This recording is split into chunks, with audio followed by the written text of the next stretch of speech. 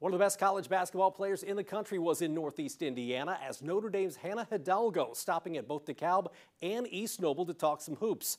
Hidalgo has a name, image, and likeness deal with Shepherd's Family Auto Group in Kendallville. As a freshman for the Irish this past season, the New Jersey native was a first-team All-American. Hidalgo scoring over 22 points a game for Notre Dame, and she also led the country in steals.